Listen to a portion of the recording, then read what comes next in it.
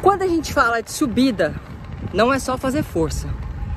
Quando você pensa em se sobressair em cima de alguém em uma subida, aí que apenas não é só fazer força. Você precisa também saber usar suas estratégias. Ah, o ciclismo, de uma forma geral, ele consiste em enfatizar o seu ponto forte e estrategicamente tentar neutralizar o seu ponto fraco para que seu adversário não utilize isso daí para se sobressair em cima de você. E a estratégia de força, a estratégia de como subir, oscilação de intensidade, de acordo com a sua característica, é o assunto que eu vou tocar nesse vídeo com você hoje. Eu e a Vivi. Porém, eu vou lá alcançar a Vivi, ó. Olha lá onde ela tá, ó. Tá vendo o ponto preto? Tá lá na frente. Eu vou lá com ela pra gente falar sobre isso com você hoje.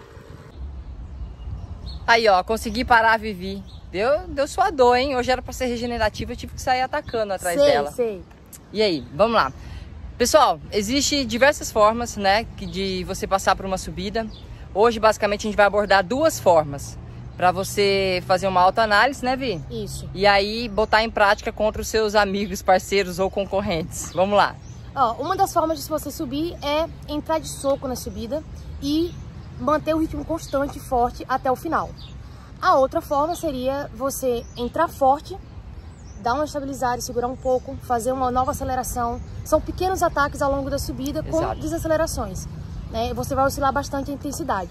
E aí você precisa identificar qual dessas duas formas de subir está dentro mais da sua característica que você consegue render melhor até o final e até terminar, né, de certa forma, é, bem a subida. Isso. Então pense em alguns treinos anteriores aí que você fez, Faça testes. faça testes nos próximos treinos e, Isso. se- e veja em qual você se identifica melhor para que você possa usar isso a partir de então ao seu favor. Isso. Aí, é a questão de você, quando tiver você medindo roda, quando tiver você, ficou estranho, né? Quando você estiver medindo roda numa competição com seus adversários. Justamente essa autoanálise que a Vi falou, é, encaixa algumas questões. Por exemplo, um atleta que ele tem a tendência de subir forte, constante, ele sofre quando tem acelerações durante a subida. E o atleta que ele tem mais facilidade para se adaptar com essas acelerações, ele que é um- geralmente um atleta mais rápido, né, que ele Mais tem às vezes mais né? explosivo, ele se adapta melhor. Às vezes você fica fazendo pequenas acelerações na subida, você machuca menos ele e até te machuca um pouco mais. Ah, então o que, que que você faz? Por exemplo, eu tenho a característica de ficar fazendo pequenas acelerações. Se vem uma pessoa do meu lado e coloca um passo constante desde o começo, eu sofro mais. Então, o que, que eu tenho que fazer? Quando eu vou para uma subida, eu já pego logo a ponta e coloco o meu passo, diminuo um pouquinho, porque como eu sou mais explosiva do que o meu adversário, isso é apenas um exemplo, tá, pessoal? Como eu sou mais explosiva do que a minha adversária, se ela é passistona, um pouco mais lenta, quando eu entro de soco acelerando, ela vai sofrer.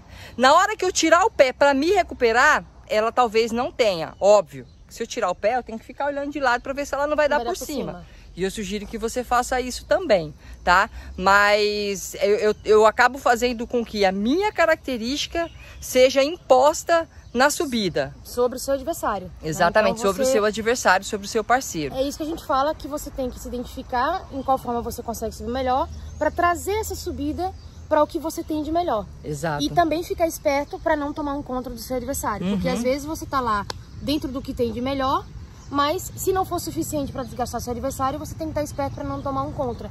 Então, nunca também subir no limite do limite. Sim. Você tem que dar- deixar aquele 1%, porque se alguém te surpreender, você ainda consegue ir lá. Aham. E ainda tem uma terceira forma que você pode fazer teste e, e submeter os seus parceiros, os seus adversários, é o que? É você no começo já botar um passo forte, mas deixar essa reservazinha É e aí estável também, isso. né? E aí no último terço de prova você arrematar, é de subida, arrematar e, e subir dando 100%. Eu particularmente gosto muito dessa forma de subir. Coloco meus adversários Numa zona fora da zona de conforto. em dificuldade, né? Em dificuldade na subida e ainda deixa uma reserva pro final. São testes que você pode estar fazendo e, e, e aí Vendo qual a melhor forma que Isso. você se encaixa. pode surgir também a questão assim, mas Cris, Vivi, eu sou lento e o meu principal adversário também é lento. O que, que eu faço?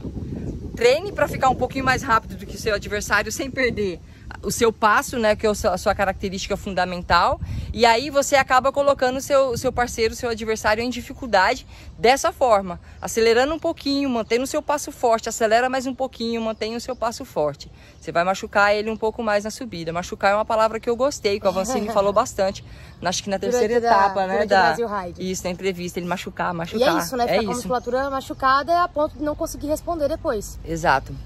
Pessoal, é isso. Espero que a, a, Vivi, a Vivi tenha valido a pena correr atrás dela no treino.